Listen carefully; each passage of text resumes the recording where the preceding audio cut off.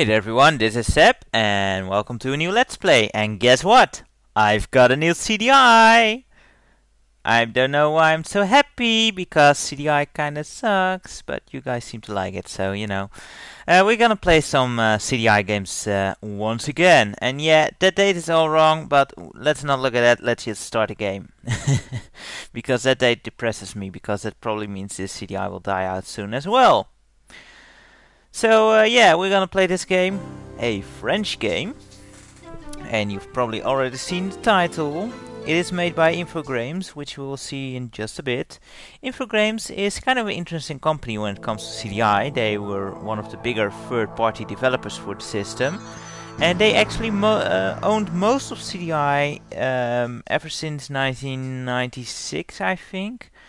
At which point uh, Philips pretty much sold most of the rights to the, to the system. Om op platform. ontdekking te gaan in het Keter-universum, dient u op een van de opties te klikken. To discover the universe of Kether, choose one of these options. And uh, yeah, that's kind of interesting. This game is actually bilingual, and this is one of the first games that I know of that did that. Uh, there were probably games before it, and I'm pretty, uh, I, I'm sure there are games before that did it in text. But this game has speech, and it uses Dutch and English. And I believe in the US version, uh, French version, and UK version, the second language is actually French instead of Dutch. But uh, yeah, that's pretty interesting. In 1993, not that many games had speech, let alone um, being multi-languages. So that's that's kind of interesting. Uh, what we're looking at here is a cutscene at of which I have no clue what it's supposed to mean. the guy's like absorbing energy. I don't know. Uh, it's gonna be the the trend with this entire game which is Keffer or Keter if you wanna go with the Dutch dub. But uh, yeah, this game makes no sense whatsoever. The story is very vague and I don't know. Um,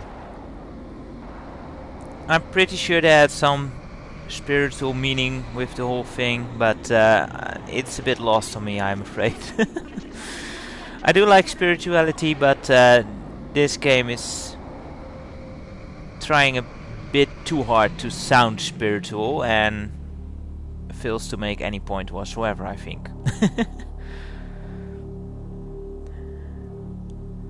and that's our uh, mothership, I guess.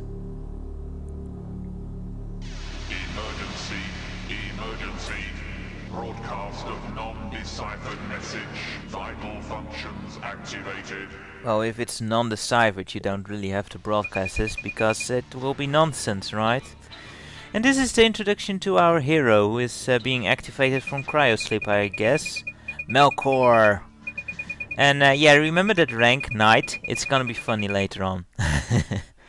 and uh, he doesn't even have a flawless victory. This hero fails, well, at least 2% of the time. Let's uh, let's make this mission a success, though. On the other hand, he did have 111 missions. That's kind of a lot. Uh, yeah, since this game does not use a digital video cartridge, we're left with these uh, still slides, which looks kind of crappy, but oh well. Broadcast of non-deciphered message. Automatic orbit around Kether activated. And that green planet is Kefir, although now it's being purple. I don't know why, but oh well. Uh, yeah, high levels of radioactivity. Doesn't sound too healthy to live on there. Yeah, this is just some basic information which has no real relevance, I don't think.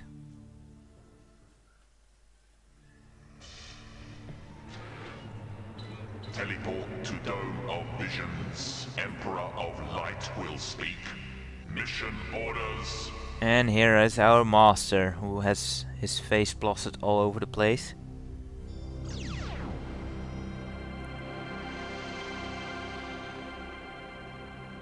I am the visual representation of your celestial father, Enoy, he who reigns over all galaxies. Long ago in the Orion Nebula, I prepared you for this mission. You must save the planet Kether from the forces of evil. Khork is holding a prisoner on the planet. She is Eta Carena, Princess of Wisdom. We wish her to be saved. My light shines upon you, Melchor. And that was a big lie. She is not on the surface actually. Ionic teleport to combat stations activated. Sidereal vision activated. Helmet activated. Take off. You are switching to active status. Alright, we've teleported to our ship. Uh, I love how everything in this game has a name, like that helmet is actually called the Helmet of Visions in the uh, manual. everything has a of something or other in this game. Temple of Hochmatt. Alright, so this is our main hub screen where you can choose the temple. Temple of Geburah. Second one, Temple of Netzach. third one, and so on. Temple of Hod.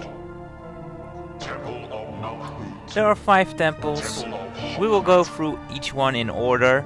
Uh, you don't have to go th through them in order, although you do have to do the fifth one last. Basically, how this works is you get a number at each uh, at the end of each temple, and the fifth one has you enter a password of four numbers. So yeah, let's do the first one, the Temple of Hochmatt first. And we get our little interface here in just a minute. Yeah, there we go. On the right, all those colored blocks is your life indicator, and on the left is the number of lives you have left. Those little uh, blue, uh, whitish orbs. You are entering space-time. And this is the first part of each temple you go to, the flying stage. Um, since Melchor is of course a warrior of light and all that is good, he is a pacifist and he cannot shoot these asteroids. And this is the asteroid field, and I guess it is Kefir on the left. Although these stages um, apparently take place in different time and space, so it could be a totally different area and time. And I don't know. It, it don't make sense of this game because it'll it'll cost you some brain cells. the green orbs refill life, so they are very important. This stage is pretty easy, but later on, man, they do get really tough and unpredictable. Here the camera is kind of static as well, which makes it easy to um, predict where the asteroids uh, are going. Wow, I actually avoided that. ah, and I got hit, so I didn't get credit for the uh, green orb. Cheap game, very cheap. But yeah, these are uh, kind of basic flying stages. They are decently fun. Um, one thing you need to keep in mind is that the um, up and down axes of the ship are inverted, like most uh, flying simulator game thingies. But yeah, you need to get used to it. The controls are kind of sensitive. There is no chance, no random luck. You forge your destiny with each of your actions. Never admit defeat. You are what you do. Look at the star which can save you. And that was Enoy giving us some, well, nonsense babblings. Being the omnipotent god he is. yeah, some words of encouragement, I guess. I uh, I want that. Yeah, and now the camera sways up and down, which makes it uh, more unpredictable where the uh, asteroids actually will be when you, they uh, line up with your ship to smash you to pieces. Still not that bad. Later levels will be much much harder and more unpredictable and ridiculous.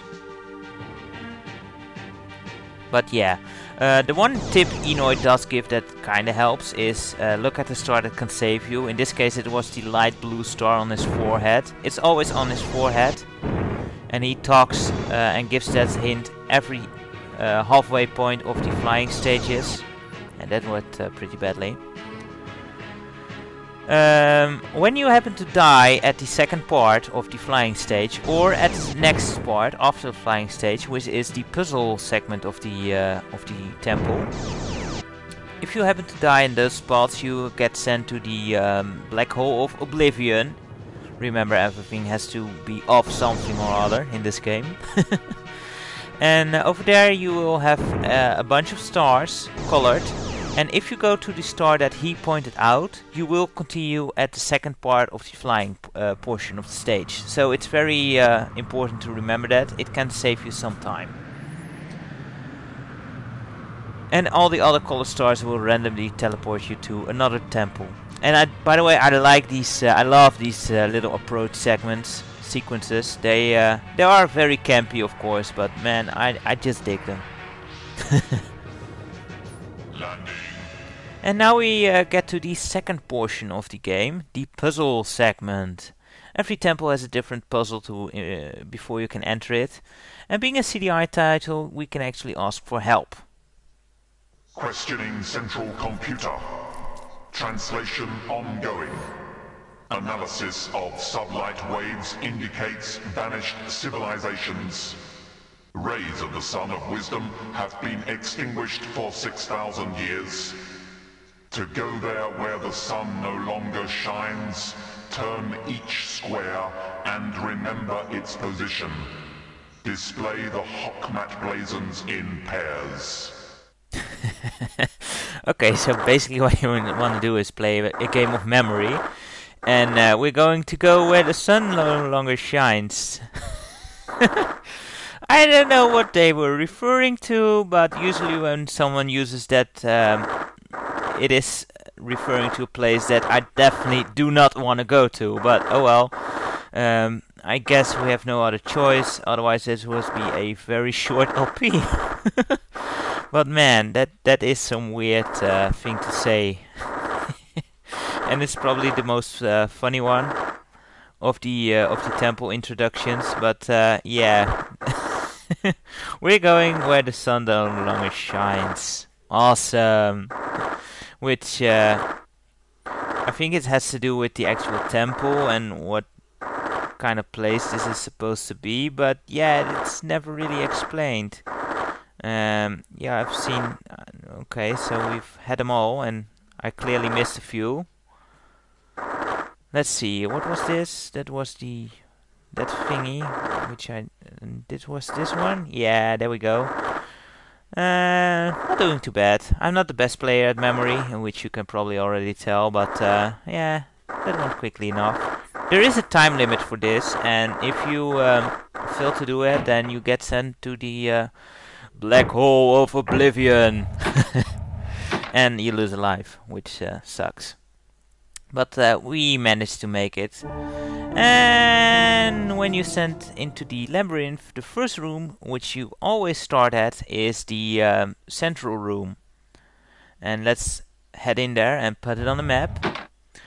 And yeah, let's. Uh, I'm gonna I'm gonna split the video here because the intro took quite long, and uh, this maze part will probably take a while as well, especially with my uh, sense of direction.